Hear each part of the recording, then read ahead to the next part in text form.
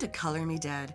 This is a true crime podcast, and we talk about murder and fuckery most foul in detail while using the darkest of humor. If you don't like words like fuck and cunt, then you probably shouldn't listen. But if you do, then join us while we fuck your feelings. Two, two brief seconds. Um, I'm not going to talk about it today, maybe another day. I just wanted to say thank you guys for your patience um, while I have been out dealing with stuff. And um, thank you for being patient. Thank you for all the well wishes, for the tots and pears, All the tots and pears. all the tots and pears. Um, maybe on a later so-sode, I'll uh, talk about it a little bit. But just so you know, I think that the hardest part is done. So yeah. my father has been my father did pass away his funeral was very beautiful and now we just have to empty the house and go through some stuff. But anyway thank you guys. We're back on track a little bit. We are going to take like we're going to try and pound out a bunch of episodes to like put out for you so that we can still take christmas off. Um, my dad inconvenient as ever decided to die right before we were doing holidays. But Right you know. before we're gonna take a holiday break. So we'll it December's gonna be whatever. Like you get what you get. it'll be a surprise if we have an episode. Y'all if- get what you get. So we'll try to keep it consistent. If it doesn't happen, we'll see you in fucking January. But I keep I had this whole thing planned to say and then I forgot it. Oh, I was gonna sing to you. Guess who's back? Back again. who Gory gals Oh, tell a friend. to fuck your feelings. Oh, and I certainly dived in a little deep. So fuckish. So, so fuckish. Your feelings have re-virginized themselves, so we're gonna get rid of that. We're just gonna go, we're fuck gonna 'em. let you know that the next few episodes. Um, so what happened? See, what happened was I was reading a book and getting a a series like a like three four parter put together, and while I was, and I'm not going to tell you who it is because those are next, but Surprise. surprise! Um so as i'm like googling different things for that case i came across a handful of other ones. Now i know that you guys like nobody nobody loves it when i do this. However the reason that i'm doing these specific ones is because there are actual laws and there are actual alerts and there are things that are tied into these cases that i think you guys should be aware of. And i think it's important for you guys to know this I think that it raises awareness for the Good Samaritan i really just thing. I, think I realize, you know what, um, in the grand scheme of things, I know that the Good Samaritan law can be tricky. You know what I mean? Like, we are not required to perform CPR. We are not required to jump in feet first and get in the middle of shit and save people. Um, I feel like I would in certain cer- certain circumstances. However, I'm not going to put myself in a position to be um, permanently disabled or possibly die to help somebody else mm-hmm. because I have people that rely on me. You know what I mean? Like Right. my mom alone is a reason for me to like I will call for help, I will do the best I can, but I can't run into a burning house right. You know what I and- mean? And unless there's puppies. I'm Yeah. just kidding. well, in this case, I think that just calling, tipping, letting people know. Uh, in You'll this one, see I probably would have but- gone to fucking jail. I would have, I would have 100% gone to jail. Uh, and you'll find out why here shortly. Um, so without further ado, if you guys want to find us on social media, you can do so on Twitter at Color Me Dead Pod, Instagram, Color Me Dead Podcast, Gory underscore Nikki, and Color Me Dead Angel. Facebook, we have the Color Me Dead Podcast page. We also have the Color Me Dead Podcast group. Yeah, we do. Yeah, we do. with all the factory Moosdale. You can find us on ageofradio.org slash color me dead. It has all of our episodes, a link to our Patreon. It has all of our uh affiliate, Sponsors. yeah, affiliate sponsors. You can find all kinds of shit. You can find other shows that are on our network, which are are some there's some good shows on there. Um, you can also, like I said, while you're on there, donate to our Patreon, or you can go to patreon.com slash color me dead podcast, or you can just go to patreon.com, search color me dead podcast. We have tiers from $1 to $75 you can donate to. You get anything from stickers to hoodies for your Patreon perks. You get them after you have been a Patreon for 90 days, but from the very beginning, you get ad free episodes as soon as they are finished. I upload them on there first. We get them up, you'll uploaded. Uploaded. Um, and there's some new new things coming out after the first of the year for Patreons only. Only. Only. At patreonsonly.com. Uh, if you you don't have to feel lonely. at Patreon only. Do I quote? Do I quote? That's not a real Uh, thing. no, it's not. Uh, if you guys want to check out merch, you can get every sort of everything under the sun if you want to go to colormedeadpod.threadless.com. Um, yeah, if you want some some whoa, if you want some merch but don't want to donate to Patreon every month, that still gives us a little bit of a kickback too if you order some of our merch. But you're also repping us, show us off, Yeesh. take us with you. Put it on your chest. Say it with your chest, little ass bitch. If you want to send us some shit, which we got a very nice Christmas card I forgot to tell you about from Shay Kristen. Aw. Shay, Thank all you. the all the names that we call her, you who has a million names. Thank you for your Christmas card. It's very She- beautiful. She who wrangles rabbits. Yes, the it was from Dinah too. Anyway, back at the ranch. So yeah, if you want to send a shit like like she did, you can do it to PO Box sixteen ten, Vernal, Utah eight four zero seven eight. You can email us anything you would like. Uh, rather, I prefer not to have dick pics. Color me dead podcast dot no color me dead podcast at gmail.com. Dick pics will all be reposted with your real name. All right. So, episode 124. I'm just here to fuck your feelings. Sorry. Sorry. Not sorry. Now, like I said, I'm fully aware that a lot of you guys struggle with the murder of children, and trust me, it's not a subject that I jump to cover. It's not like I.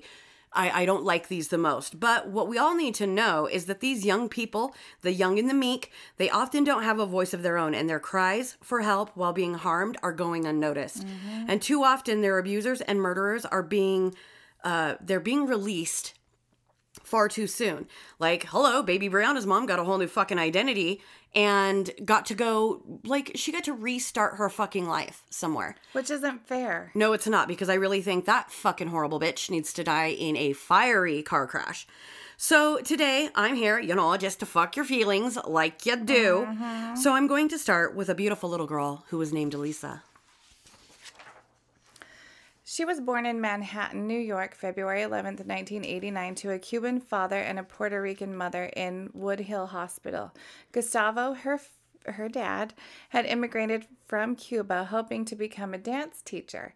Her mother, a, is it a Wilda? A Wilda. Wilda mm-hmm. was a native New Yorker who had been raised in Brooklyn. The pair met in a homeless shelter. Gustavo had been employed by the shelter to help with um, catering, cleaning, and maintenance. Awilda had been a temporary resident at the shelter since her and her previous party partner, not party, did not make rent. The inability to pay rent was in large part because of Wilda's crack cocaine addiction. Addiction. Like, addition. I've been doing too much meth. Addiction, like you do. Um, Awilda had two other children from this partner, Ruben. Gustavo and Awilda would meet two years before Alyssa was born. The relationship was brief, and Gustavo reportedly ended the relationship because of Awilda's continued drug use. She had lost custody of her other two children in 1989, Rubencio and Casey, who were given to her family members who expressed concern for her growing addiction. When she was pregnant with Alyssa, she was still using. It goes without saying that because of this, Alyssa was born addicted as well. The city's child welfare was notified of Alyssa's condition, and Gustavo was awarded full custody of Alyssa. While the Cuban man had zero parenting experience, he took to the task with no questions. He was a loving, doting father who, who took parenting classes, sought advices from his friends and family, to best care for his tiny daughter and was the head of every celebration for Alyssa's for Alyssa from her birthdays to her baptism. Yes. So he hit the ground running.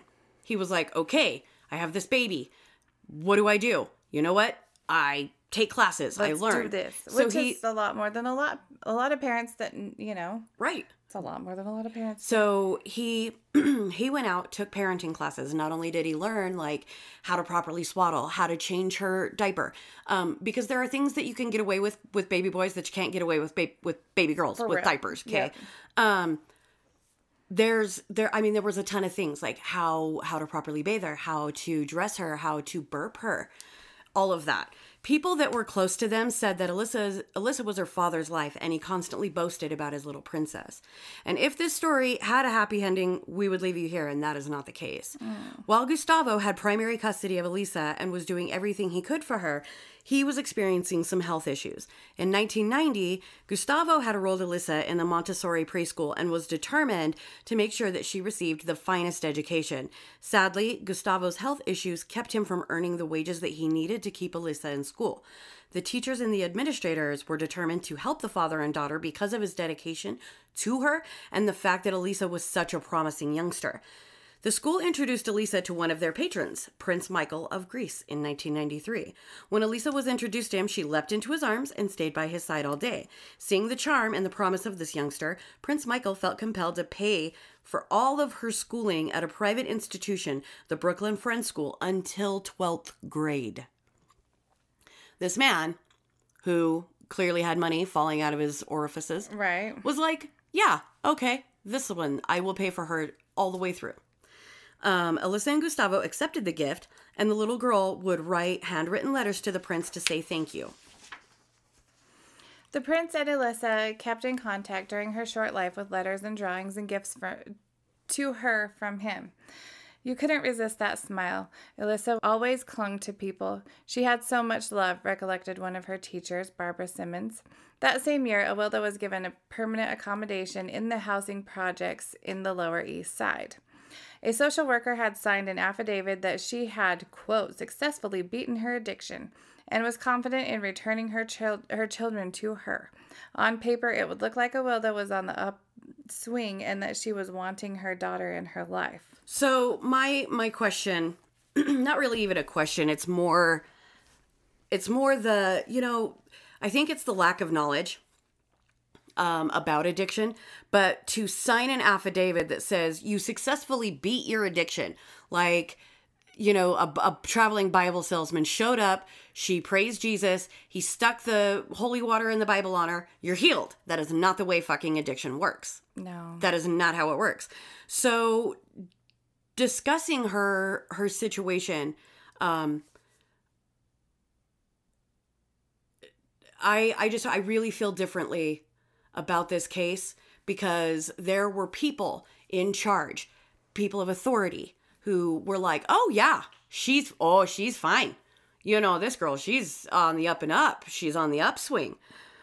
My thing is with with a lack of knowledge about how addiction works, do you think that this person really genuinely believed that Awilda had beaten her addiction? Or was it more along the lines of like, yeah, yeah, she's fixed. Like, get her off paper, get her out of my office. Eh, No kidding. And what I'm going to say sounds horrible, but I don't know how else to say it. And Say I'm not it. trying to be a dick at all. Okay. Um, but you don't know if somebody's completely beat addiction until their life is over. If if throughout their the rest it's of their true. life they continue to not, you know, If you didn't didn't, go it- back, then right. they beat it. But after how long? Yeah. Not very long. I don't. I don't I- know. Maybe I'm just like a little I- gun shy here, but I just really think that um, I don't I don't buy into the you're you're healed. I think people no longer. Sh- how do I say this? she's not in active addiction. She's not in active addiction. She's not. Um, and that doesn't make it like some people white knuckle their way through recovery, some people don't.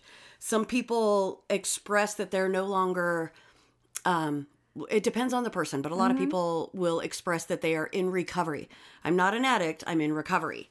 A lot of people will say that they're an addict for life, and that's okay.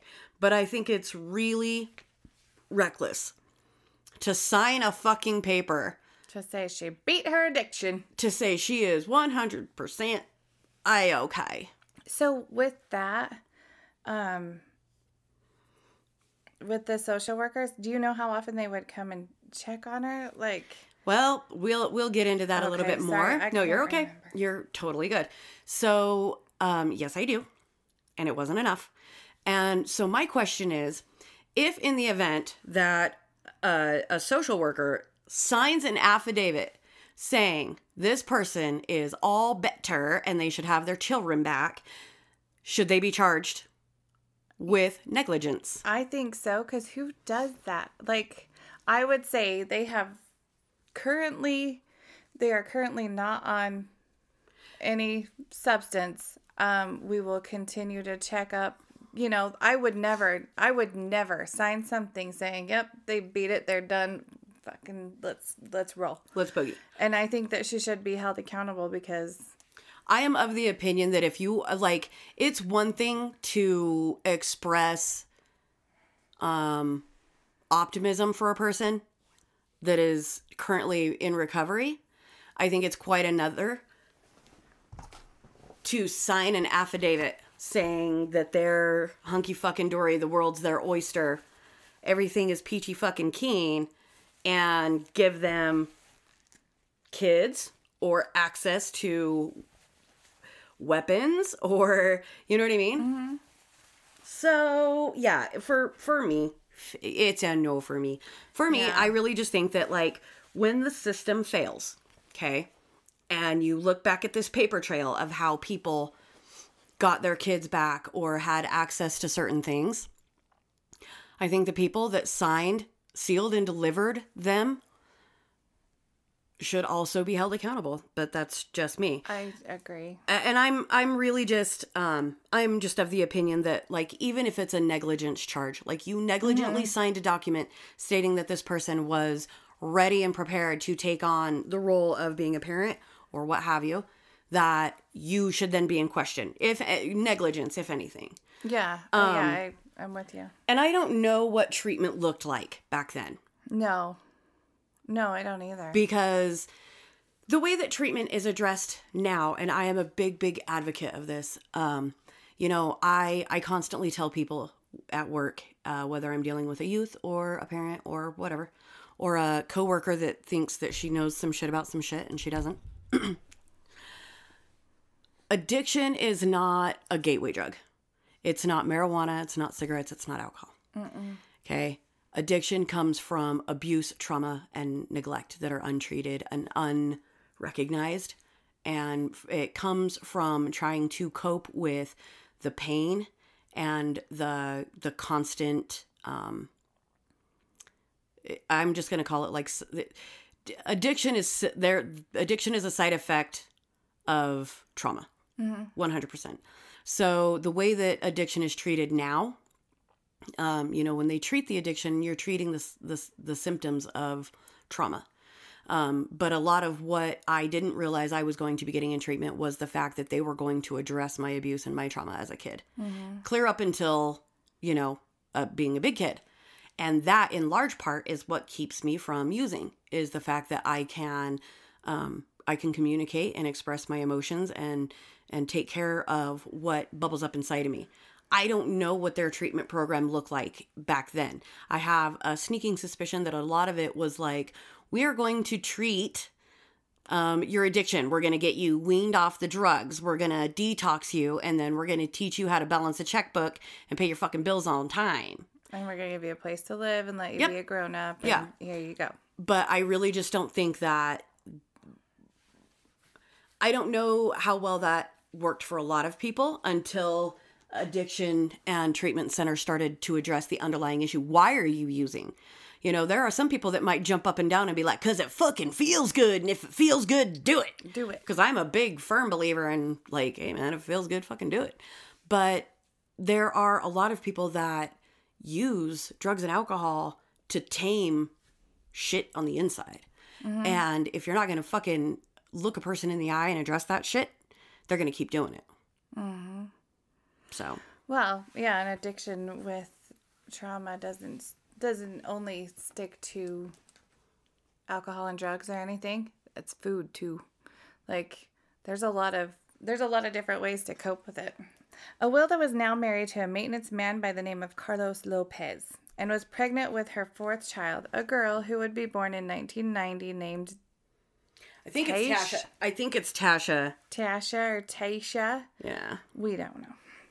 In November of 1991, Awilda was granted partial rights to Alyssa. This included unsupervised visitation every weekend. During these brief but unsupervised visits, Alyssa's siblings would witness abuse, neglect, and trauma on her by both the mother and the stepfather. Yeah. So, um, the the brother, Rubencino, Rubencio, however you want to say that, not being rude. Right. That's just a mouthful. So little Ruben and Casey both told relatives what was happening, but nobody took action, and the authorities were never contacted. So back at the back at the you know should people be held accountable for their lack of action now this would fall under that good samaritans thing kind Right. kind of sort of would it not because i thought i thought that if a little kid came to you and said i'm getting fucked with or my brother or sister's getting fucked with that you then had an obligation like a legal obligation not just a moral one to contact somebody but i guess that's not true No, I don't think it is unless you are a doctor or someone. You have to be like doctor, lawyer, teacher, mm-hmm. counselor, like somebody in a position of like trust and authority with youth. Mm-hmm. So for them to reach out to the family and just be like, yo, my little sister's getting fucked up on a daily basis.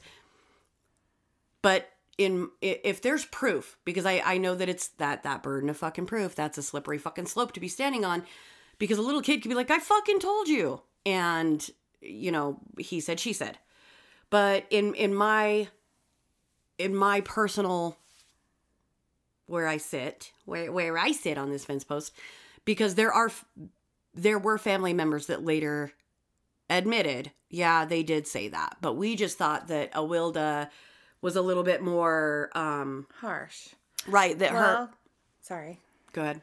I got all excited because it was like, well, it's the 90s. And not to say that like you do. Well, it is the 90s. It is the no, 90s. It was the 90s. And you know? When it was the 90s, we were getting spanked and Well, sure. for stupid shit all the time. And it was like, well, I think until. I think it was you know until people had a um had an idea that like listen it is not okay to bust your kid with a fucking belt for 12 licks. Like that is excessive. You know it is not okay to bust fucking spatulas over your kid and reach for a new one and keep going. Like one, one and done. when Just and kidding. done. If you break that one you're done. My mom did that to david. That's why i laugh about it now. mom did that to me all the time. um, and David took it like a fucking champ, but that is excessive. What my mom did was excessive. Um, you know, she didn't permanently injure us that I'm aware of, you know, but there are things like that shit sticks with you. Um, am I, I, I still believe that it should be okay to like pop your kid on the ass. right. A or little, a- get a their little- hey, attention.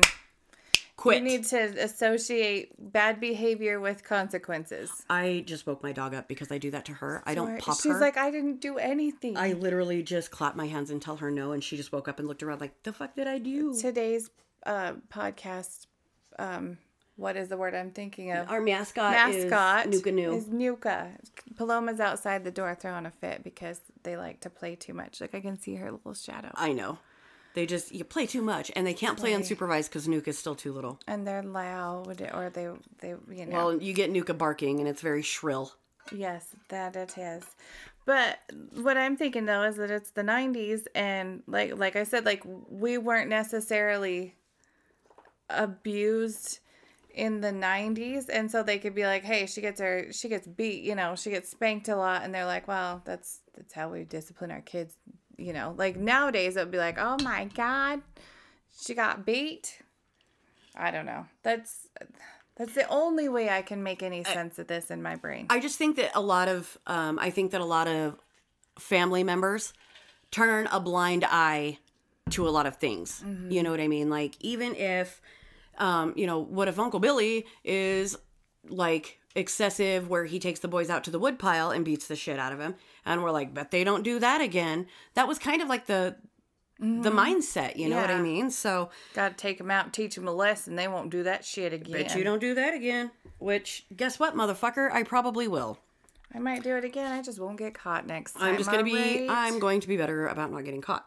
So, there were adults that allegedly were told by her her older brothers and nothing nothing happened. Gustavo, as well as the teacher at Elisa's private school, took notice of the bruises and the behaviors that indicated mistreatment and abuse that Elisa was ha- that she was experiencing when she returned from her visits with Awilda. One of the locations of these injuries was Elisa's genitalia, and the child did divulge that her mother repeatedly hit her and locked her in cupboards, adding that she had no desire to see her mother again.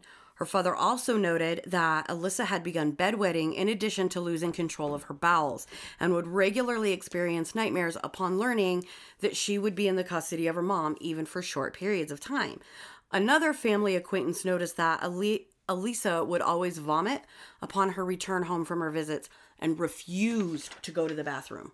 Like bathrooms, all bathrooms were That's a red flag. Just, Yeah. Hmm. That's beyond like just getting spanked. Like, Yeah. Dude, if your kid is vomiting, defecating, and urinating on themselves, what the fuck are you doing to them? yeah, like And not just like if your if your child had bedwetting issues prior or already, like that's one thing, but to be fully potty trained and then revert back to some of these behaviors, what are you doing to that kid? No kidding. Yeah, exactly. Uh, Gustavo went straight to New York's Child Welfare Administration to report these findings, as did one of Alyssa's teachers. Alyssa herself even confessed to the abuse to a social worker. Her father did apply in 1992 to have Awilda Lopez's visitation rights ceased. However, the courts ruled that the visitation rights w- could continue, albeit with the conditions Awilda must not strike or otherwise harm her daughter. How are they going to How do you monitor that? yeah, it's he it's he said she said at this point or she said she said, but you know, I mean, if there's, but there's all these things. Like even the teacher noticed bruises and shit, and like one of the one of the areas that was like largely hurt and bruised was her little tiny vagina. this is Like where fuck you, dude. I would probably get in trouble because I would be like, you know what? So they're gonna tell her you can still have your visitation, just don't hit her, okay? I'd Mm, be like, no, fuck you and fuck all of the state of New York. If you think I'm ever gonna let my kid go there again, I will not. No, no, we no, we no, ain't doing all that shit. But then at the same time, it's like, okay, so I get in trouble and I get thrown in jail for keeping my kid away, and she goes there. Yep. So what? God, that's got to be fucking horrifying. Which we'll we'll get past that here in a minute. Um. Yeah. So we don't think that you should we abduct children. You know, we don't necessarily condone child abduction, but in this case, I probably would have. I 1000% would have. Uh, that being said, in a desperate attempt to keep his daughter safe, in 1993, Gustavo had planned to flee the country with Alyssa, returning uh, to his home of Cuba to raise her, which I feel like any any parent would do the same thing. He formulated his plan and went on to purchase airline tickets for both him and Alyssa for May 26, 1994. Sadly, the illness that had been plaguing Gustavo took it, took its toll, and he was admitted into the hospital for acute respiratory complications that turned out to be lung cancer. Gustavo, He's because they're. Oh wait, hold on.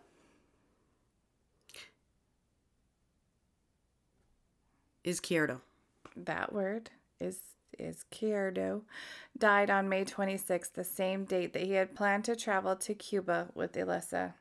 The news of Gustavo's death reached the director of Elissa's school, and she took it upon herself to contact a family judge to express her very serious and grave concerns about the girl's future. Phyllis Bryce told the judge that she and many of the educators at the school feared for Elissa to be returned to her mother. As soon as Awilda knew of Gustavo's death, she took to petitioning to have the custody of Elisa returned to her permanently. She was granted temporary custody of the girl, and the ruling was challenged by a cousin of Gustavo, Elsa Canzaneres. She attempted to obtain custody herself, citing the recorded abuse and the neglect of Elisa at Awilda's hands. Both the head teacher of the school that Elisa, that Elisa attended and Prince Michael of Greece also wrote personal personal letters to Judge Phoebe Greenbaum opposing the initial temporary custody of Elisa being awarded to Awilda Lopez upon the death of Gustavo and endorsing uh, Elsa Canzaneres as her permanent, like the application to obtain permanent custody of her. Prince Michael made it very apparent to the judge that he had every intention of paying for all of Elisa's upbringing as long as Elsa was going to be her guardian. So he was going to be paying like a monthly support to Elsa, not just her education. Like this little girl would never go without. Yeah. Um, they all argued that Elisa wouldn't stand a chance if she was placed in the custody of her mother, regardless of the mount- mounting evidence as to why Awilda was not a suitable mother. In 1994, she was in fact granted full and permanent custody of Elisa by Judge Phoebe Greenbaum, who, by the by, in 1979 denied a father custody of his 10 year old son, stating that the boy's grandparents were his finger quote psychological parents and that it was a decision that would prove to be fatal for that boy. Um. So, So, what does your record look like after this, bitch? Um, I'm going to say that Judge Greenbaum may have several lapses in judgment, or that she somehow um, had a line of thinking that wasn't very clear. It's unfortunate that her line of work happens to be a judge because she clearly sucks that up. Yeah, she didn't do well. No. Um, so in this, in, in a case like this, okay, so a judge, should the judge be charged in a case like this for like, okay, you granted full and permanent custody of a little girl to her mother who had indicate like she had indicated she told a social worker she was being abused she was riddled with bu- bruises she started bedwetting she started defecating and vomiting on like it's proven. It's proven, and you're gonna give the kid to her.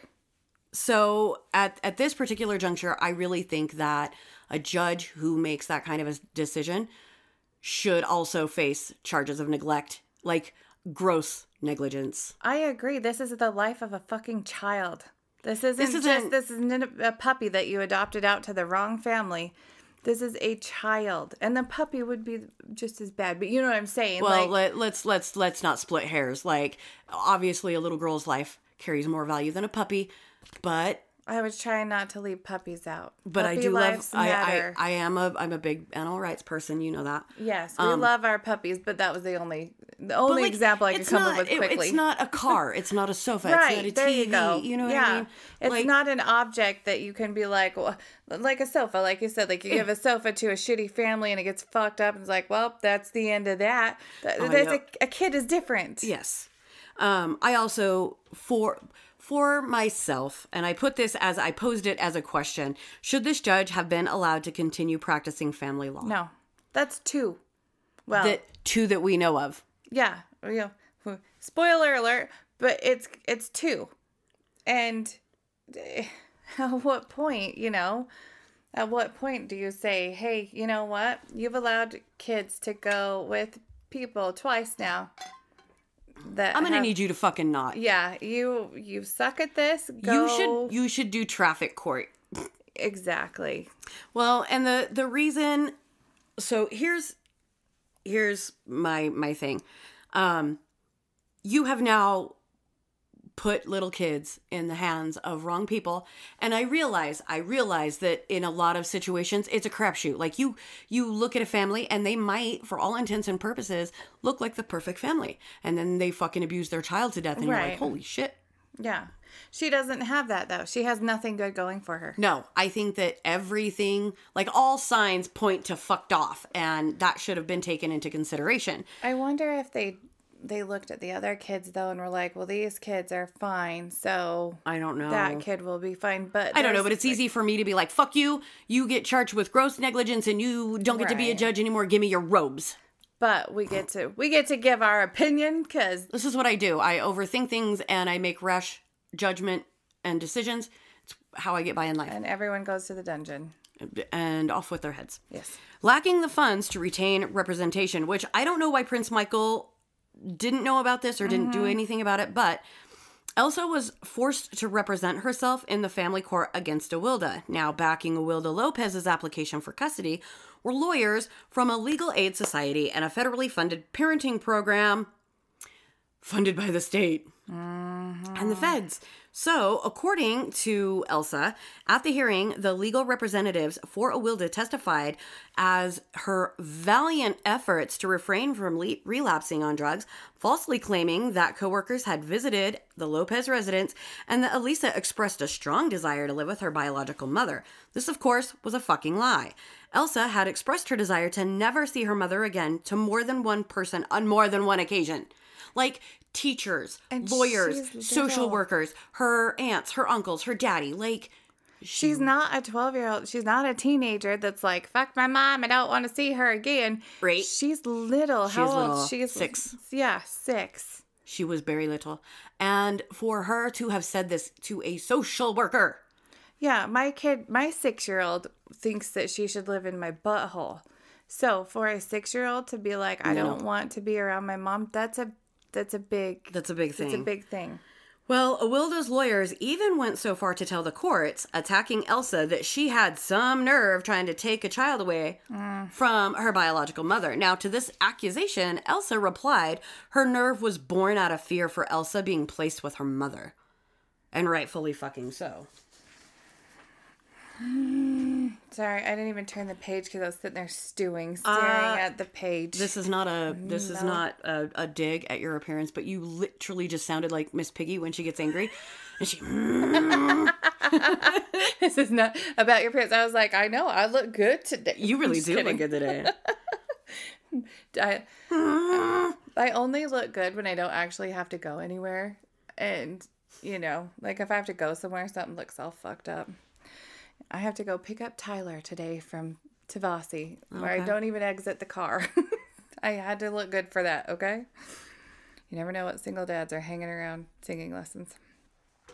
Awilda Lopez's application to obtain permanent custody of Elisa was approved by Judge Greenbaum in, in September of 1994. As soon as Elisa moved in with her mother, the abuse continued. Elisa was taken out of her prestigious school and sent to a public one, Manhattan's Public School 126. I wonder if that is because she had a bus or something stupid like that. Because why the fuck would you want your kid to go to public school when they have frickin' private school paid for for the rest of their goddamn life? I really don't know. Probably because they actually pay attention at the public school and she can continue to, she probably thought she could continue to beat the shit out of her. And They don't pay attention. I don't know. Like I don't want to take a dig at personal school or private. no, Fuck off, mouth. Come on, public school. No. because I went. I attended public school yeah, my, my entire life, but um, it was probably a lot to do with the fact that um, if she continued to to uh, accept the tuition and whatever from the prince, that um, like what do they call that? Correspondence assistance. correspondence between the two of them Oh, yeah. would continue she probably had to take her and pick her up from this location in brooklyn um, but most of all she's got entirely too many hands in her cookie jar when it comes to elisa mm-hmm. would be my assumption Yeah. Yeah, and I I wasn't taking a dig at public school, but I do know the difference between like a private school and a Oh, yeah. public school. They don't pay as well when you've got a class full of how many children and you're Mm-hmm. re- like you're responsible for that many kids and it's not the same in, in private school you know what i mean it's a, it's a lot different yeah. Here she was reported um, as being withdrawn and uncommunicative. She was also reported to be riddled with bruises each week and appeared to have difficulty walking and began to tear out a section of her hair. The increasing concerns of the staff at Public School 126 regarding event abuse oh, sorry, evident abuse were also reported to the Manhattan Child Welfare Authorities. See, even public school is fucking reporting it. Right Reportedly, the Manhattan Child Welfare Authorities soon replied to the school that their concerns were not reportable due to the lack of direct evidence of child abuse or neglect. As hmm. such, this report was rejected. Upon finding out that the school had reported suspicions of child abuse, Awilda withdrew Alyssa from the school. Awilda, mm-hmm. by this time known to have reverted to irregular crack cocaine use, withdrew Alyssa from public school 126 in the spring of 1995. She made no effort to enroll, enroll her in any other school. So now Alyssa has nowhere to go to escape her mother. So she's literally stuck with her tormentor 24 hours a day. She would be locked in her bedroom 24 hours, seven days a week. Alyssa wouldn't even be allowed out to use the bathroom and would often defecate in her bed. On March 14th, 1995, an anonymous letter was posted to the uh, Manhattan Child Welfare Authorities. The author of this letter stated that Awilda Lopez had cut off much of Alyssa's hair, had started um, locking her in a dark room for extensive, extensive periods of time. Six days later, Ad- Alyssa was admitted into the hospital with a fractured shoulder. The wound had been untreated for three days. I want to know. I want to know why, um, after all of these reports, that she's not getting checked up on by so er, by social services mm-hmm. constantly, even if they're not true, even if they think that they're not the- allowed. Why are they not getting checked up on? Mm-hmm. So, three days, the hospital was able to determine that the state of the injury had been at least 72 hours old. I can't believe they they actually took her in. I think the only reason they took her in was to to make sure that something wasn't more severe. Because now, this is where the really maddening fact. If you're not already fucking pissed off, If you you're not furious, now. let me let me go ahead and rub some salt on this. Um, Alyssa had court ordered supervision by a caseworker who was supposed to. Uh, Angel, you really need to fucking Supposed I really need to um, spell and grammar check more. I do that, and I still come up with a bunch Still- of bullshit. she was supposed to be doing home and school visits, meaning, meaning So she- several, several times a month. Not only was she supposed to come to the home, but she was supposed to go to the school.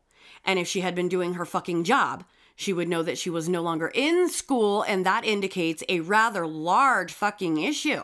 And where the fuck was she when so the school was reporting it? If you're doing your school visits, Mm-hmm. like the the teacher should have had like your phone number. I know they didn't have email and shit as, as Right, frequently but as back then, you- but they should have your phone number, A and phone number and an address to get a hold of you. Yeah, Like we had we had fax machines and shit. there like was you a could way. you could have fucking faxed a motherfucker. I know my mom and dad had one. They use the little piece of shit all the time. Yeah. they're very into that thing.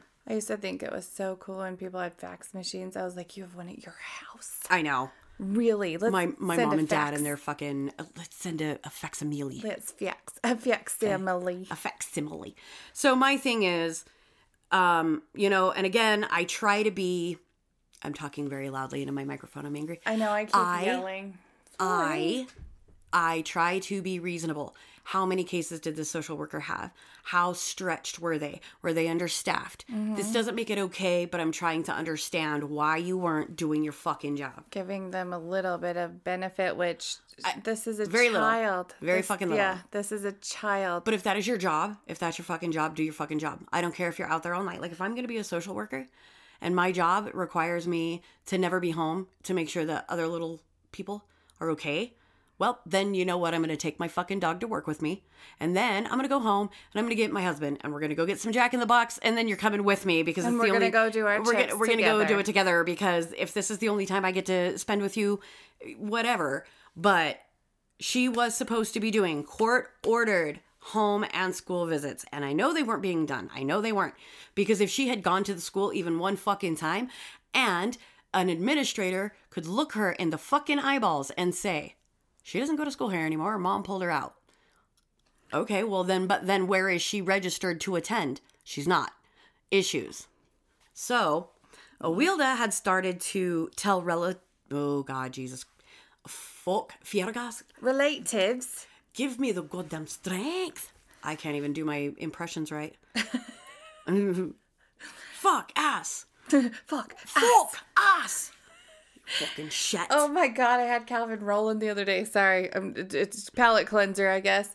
I had him rolling because we pulled in somewhere and I can't remember what we heard, but somebody said Raimi, and I was like, "Shut your fat ass, Raimi!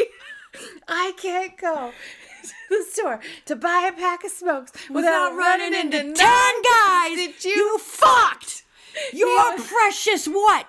Your little what? You tell me that fucking cat's name, bitch. he was rolling. He's like crying. I was like, I'm Shut sorry. I your can't. fat ass, Raimi.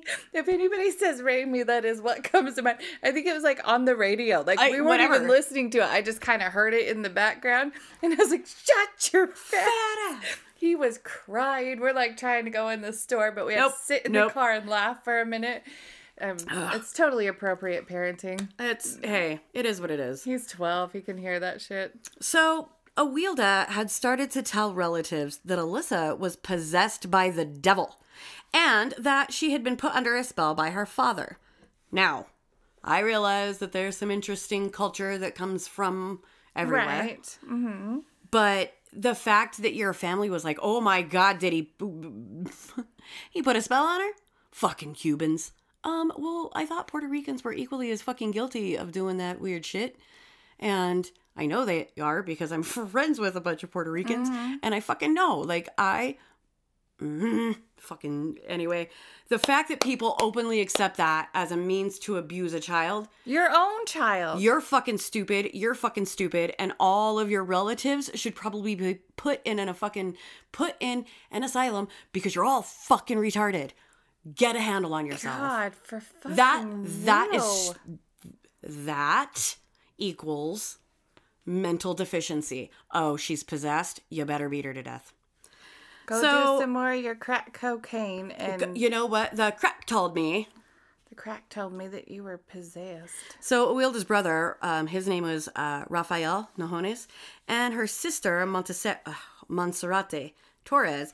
Monserrate. I actually really like that name. Anyway, they said that they believed the tall tales of Elsa's demons, and therefore they never questioned their sister's torment of Elisa. Oh Neighbors would say they would frequently hear Alyssa screaming for help and begging her mother to stop hurting her.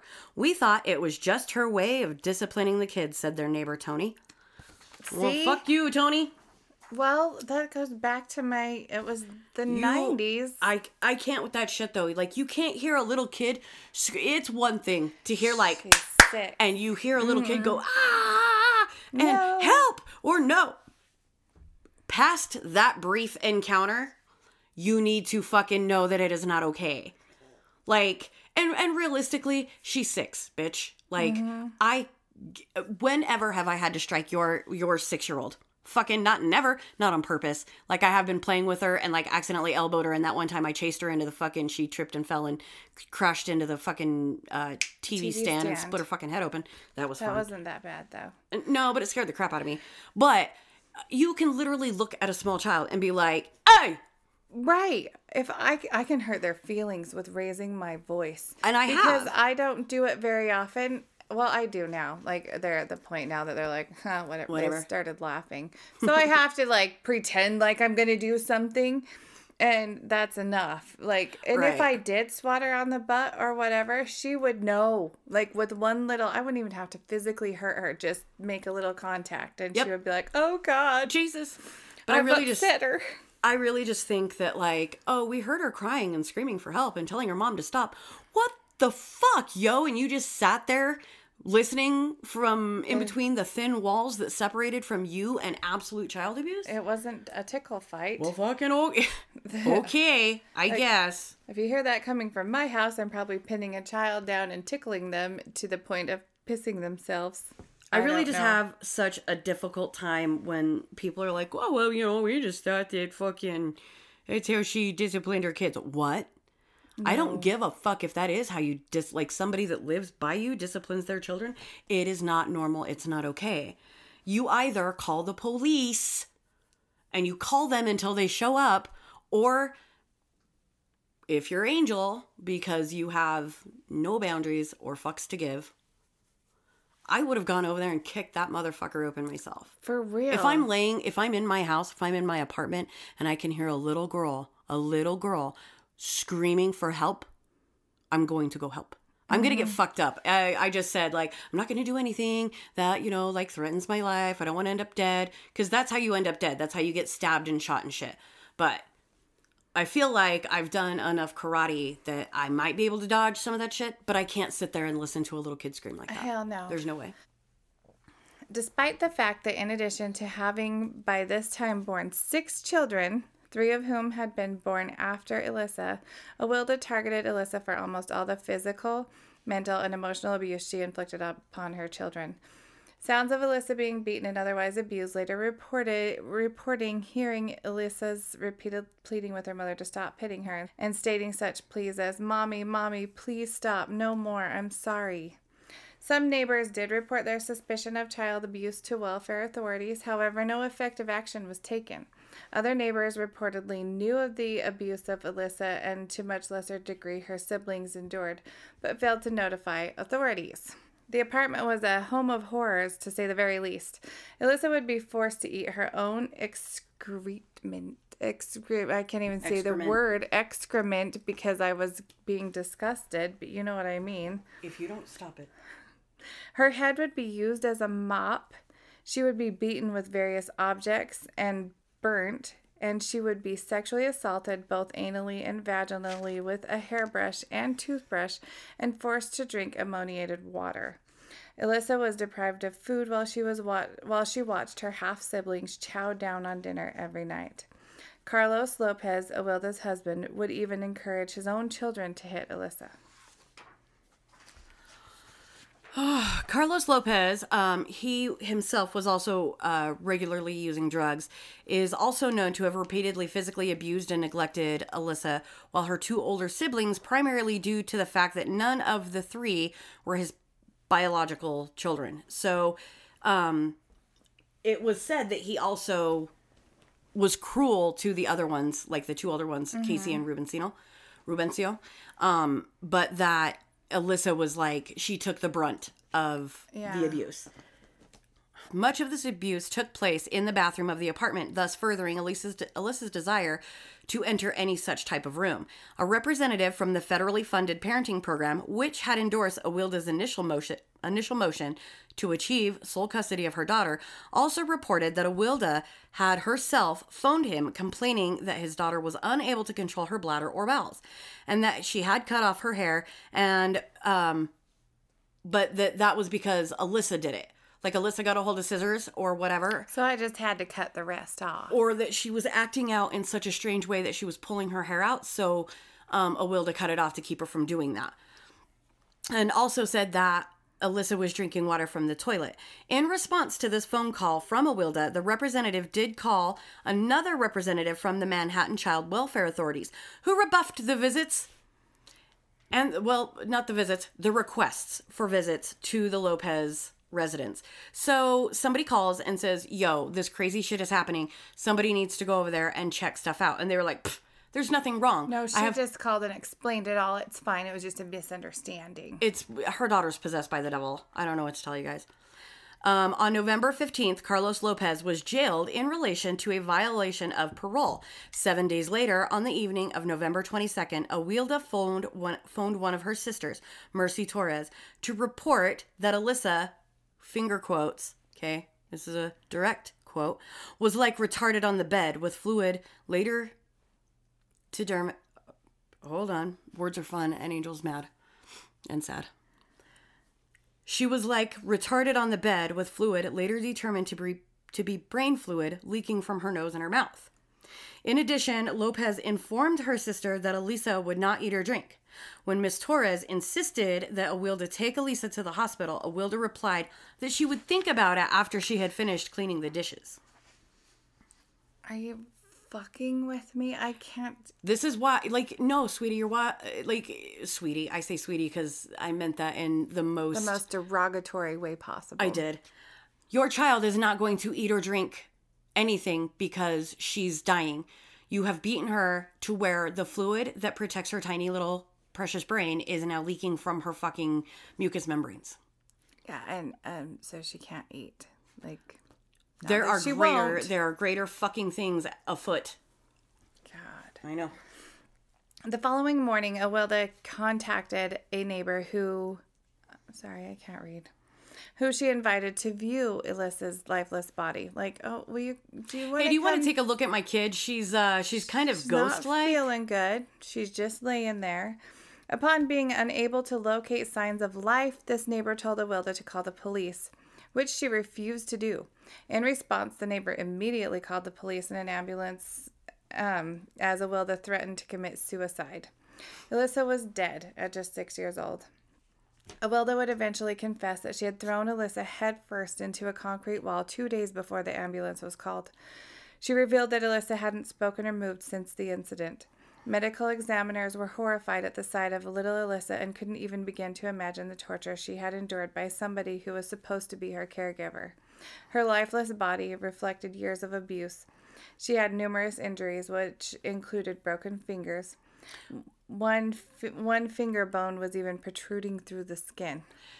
That little girl had a compound fracture with a bone poking through her fucking skin. You gotta be shitting me. My brother did that. My brother broke his finger, had it smashed in an unstable um, ladder on a oh, construction yeah. site, had his bone poking through the skin. A grown ass man with a pain threshold of about a 10 couldn't handle that pain. So, you know, fuck me. Do it to a little girl. And then don't do anything to help her out. Oh, you know. Burns and cuts all over her head, face, body, and internal injuries to her organs. An autopsy also revealed that her genitalia and rectum bore signs of trauma, including tearing. It was shown that all of the injuries had been sustained over a period of time. It was evident that Alyssa had been tortured from the moment she entered the apartment. But that judge, go ahead and give her to the fucking natural mother, whatever the fuck her Yeah. her You know- her excuse was. Mm-hmm. The abuse surrounding this case is a sh- it's extremely abhorrent, and even more abhorrent is the fact, aberrant, abhorrent, however you want to say it, was that it was easily preventable, and had child services responded accordingly, Elisa never would have been in this position. Um, Elisa Izquierdo's funeral was held November 29th, 1995. Prior to Elisa's burial, a wake was held. Those present at the wake and the funeral included relatives, neighbors, politicians, Prince Michael of Greece, and members of the public that had been touched by the case. Elisa's casket remained open through the ceremony, and a single red rose was placed in her hand. Her coffin had been adorned with white flowers, and a Barbie doll had been that had been given to Elisa by her father, which she it was known that she cherished and kept this like this one toy was the one thing that she kept with her had been placed alongside her body. I got really sad. I don't like it. Many mourners placed additional toys, flowers, stuffed animals, and notes of sympathy in and upon her coffin prior to the casket being closed and her burial being taken place at Cypress Hill Cemetery.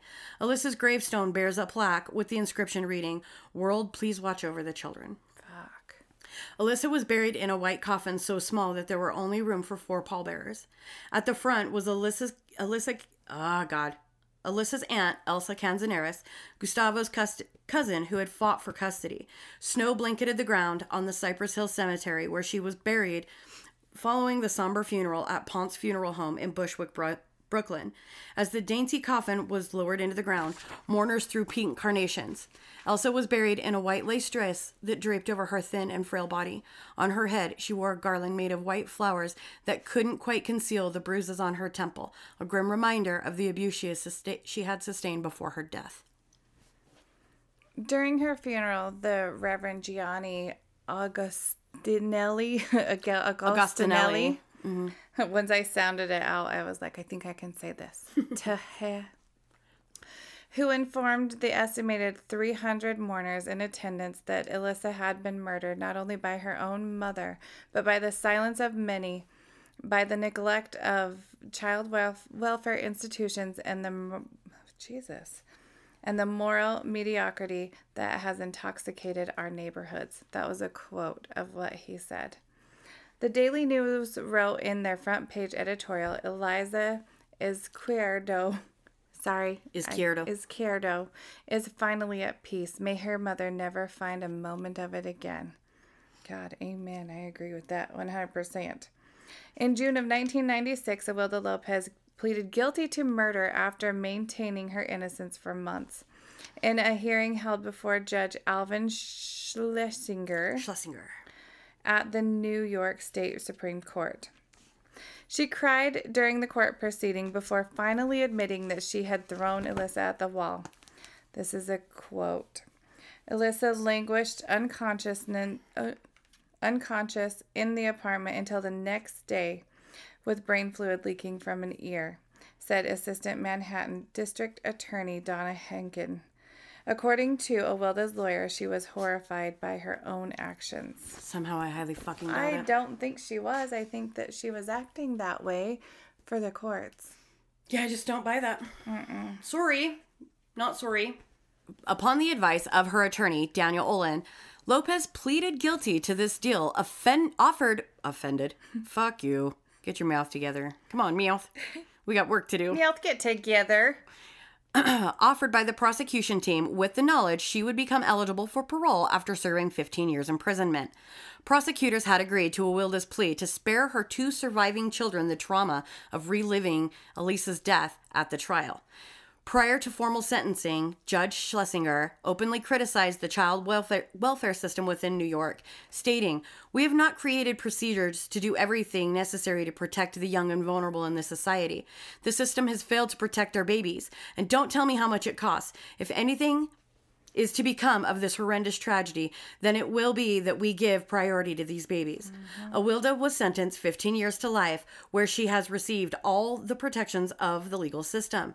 The same, very same system that failed to save Elisa. The tragic life and death of Elisa Izquierdo became a symbol of the failures in New York's Child Welfare Administration and Family Court, whose bureaucracy allowed this little girl to slip right through the cracks and into her grave. The story became a national disgrace, and lawyers would cite the case as an example chronic and systematic problem. By 1996, Mayor Giuliani declared that he would abolish the city's Child Welfare Administration and rebuild it from top to bottom. Yay. He also signed Elisa's law into legislation which was designed to balance the need for increased accountability through public awareness and government oversight, and pushed for an urgent review of the city's welfare system. This review inspired the creation of the Administration for Children's Services, an agency solely devoted to the issue of child welfare in New York. On February 12, 1996, Governor George Pataki formally signed Elisa's law into legislation. This legislation, named named in Elisa's honor, was signed into law uh, in the presence of several relatives of Elisa, plus numerous social workers and school teachers who had attempted to intervene and or in- inform child welfare authorities in their collective efforts to prevent the child being with or remaining in the awarded custody of her mother.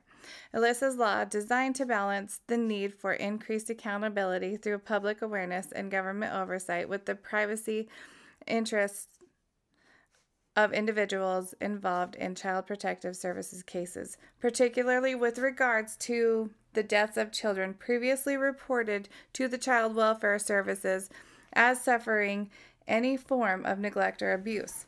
All reports pertaining to the deaths of the children resulting in nope, resulting from child abuse available for public scrutiny do not name the actual deceased child or children or the actual caseworkers assigned to investigate reports of suspected child abuse or neglect relating to the deceased child or children in question. However, these reports do list each and every complaint and or report submitted relating to the child or children and the agency's actual response. In addition, these public records contained an assessment detailing whether or not the agency's overall response had been adequate. Elisa's law, I just fucking inhaled That so sharply weird. Almost choked. well, all right. Elisa's law continues to hold the Child Welfare Agency of New York City and the Administration for Children's Services, the ACS, publicly accountable for its performance. Although Awilda initially became eligible for parole in 2010, she has remained incarcerated since 96. Lopez was most recently denied parole in 2018. Her next scheduled parole hearing is in 2020. As of 2019, she remains incarcerated at the maximum mac, maximum. I sounded like Popeye. Maximum. It's the maximum. Jesus. It's slowly the maximum. the maximum security Bedford, Hill, Bedford Hills Correctional Facility for Women. On, tw- on the 29th of October, 1996, Elisa's stepfather Carlos Lopez was sentenced to serve between one and a half and three years in prison to run consecutive with the sentence he was serving at the time of Elisa's death. This sentence was in relation to one specific instance of physical abuse dating from the 31st of October in 1995, in which he had repeatedly banged Elisa's head against a cron- concrete wall in the presence of her siblings. Jesus. God, I can't. People are fucking horrible, dude. Mm-hmm. Although Carlos Lopez pleaded guilty to this charge of attempted second degree assault, claiming that he had not actually assaulted Elisa but had opted to do so to spare his children the emotional trauma of having to testify against him, Judge Schlesinger rejected his claim outright, adding, outright, adding that the prosecution team had largely chosen to charge Carlos Lopez with the charge to spare Elisa's siblings any further psychological or emotional trauma.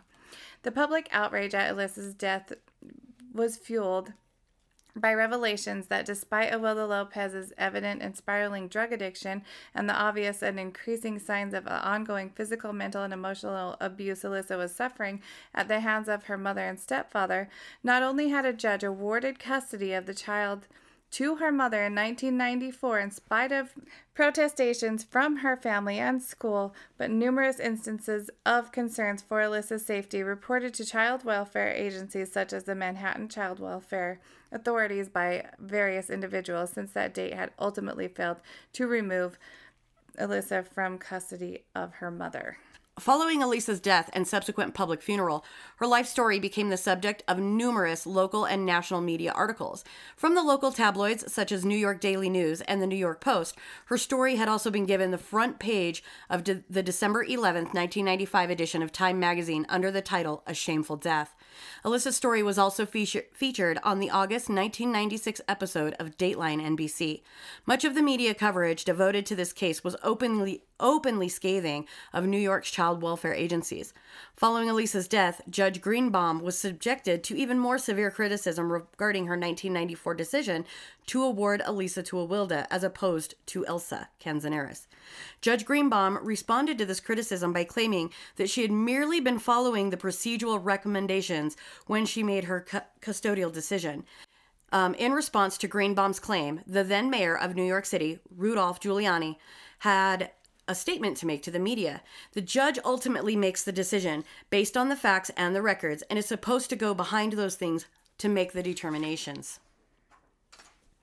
Elisa Izquierdo's five siblings were raised in separate foster homes. Reportedly, all suffered acute psychological trauma due to the acts of extreme physical and mental cruelty that they had been forced to witness um, that had been inflicted upon their sister. These are drawn from Time Magazine and the New York Times. There was also a television talk show. Uh, I talked about her briefly in the beginning of this episode. Her name is Rolanda Watts.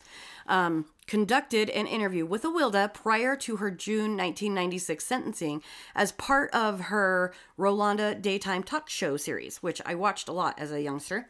Commissioned by King World Produ- Productions, this interview was incorporated into a 45 minute episode titled Lost Little Girl The Life and Death of Elisa, Elisa Izquierdo.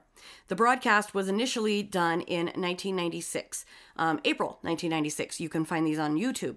Now, if you guys choose to go and watch the same interviews on YouTube, brace yourself for teeth grinding and anger because her mother is a totally fucking disgusting, reprehensible piece of shit. She's obnoxious, she's ignorant, and she ought to be on death fucking row. Um, she has no remorse, none. She takes no accountability for her actions. She maintains that she is not the person who burned and severely injured Elisa, and it took me over two days 48 hours. Do you know how many minutes are in 48 hours? More than 60. Yes, and that's all the amount of footage that was there because I was sick to my stomach and I was so fucking furious with some of the things that her mother said. Um, I struggle with people that are loud and obnoxious and ignorant. It's one thing to be loud and obnoxious, but when you add a facet of fucking ignorance to it, I immediately become like irrationally angry. I don't do well with stupid people. Um, and not like when I say stupid people, it's people that openly act um, without regard. You know what I mean? and it's I, I just I struggle with fucking stupid people. Yep. Her mother is a typical fucking scumbag with the I'm the victim here mentality. No, you're not, bitch. That I am not fucking kidding. So I can't remember if it's part two or three because it's like I want. It might be. I, think it actually it's more than that. But the clips are done in like eight minute to nine minute like pieces. So there, I think there's actually five or six of them. But I want to say it's in part two or three. She literally fucking drops. I'm the victim here, and I had to pause it. Okay, I paused it, and I got up, and I fucking walked away and I caught myself slamming doors and like kicking shit out of my way and I just I'm the victim here. In what way? Tell me. Will you please elaborate on how you're the fucking victim because you killed your six year old child? It is mind numbing the way that she speaks and the way that she says things. It turns off any um any ability to for me to listen clearly and gather information that might be useful goes away. Mm-hmm. I don't have the ability to be even sympathetic to any portion of this woman, and it, it's difficult for me to try to be sympathetic in the first fucking place. Yeah. But then when you sit down and you say things like, "Well, are you gonna let me talk? What about my side of the story? What about your fucking side of the story? You loudmouth, pig face piece of shit." What do you add? What could you add to the fact that you threw your kid up against the wall and killed her? What? Please tell me anything, I I so anyway. That being said, bitch. y- you fucking gutter cunt. I I really struggled. So I did get through all all of the parts. I didn't even try. After I read that part where you're like, it took me. I'm like, nope, fuck this, nope. I I watched them because that's what good research and reporting is. You read and you watch and you you Do gather all everything. the things from all the places. And even though you don't want to, you do. I did not want to. You already did. I mean, You're like, "Oh, you did it. Fuck you. You, You didn't have a good it." time doing it." so I'm not gonna um and and honestly, I uh I wish that I hadn't just because there wasn't information that was worth gathering there. Uh, less the part that I love Rolanda. I, I I super duper love Rolanda. Um and I you I was enamored with her as a Yeah. as a young girl. Um you know, she's this really beautiful black woman and I just her style was um she called people on their shit. And she wasn't um she wasn't gentle about it. You know, she wasn't aggressive.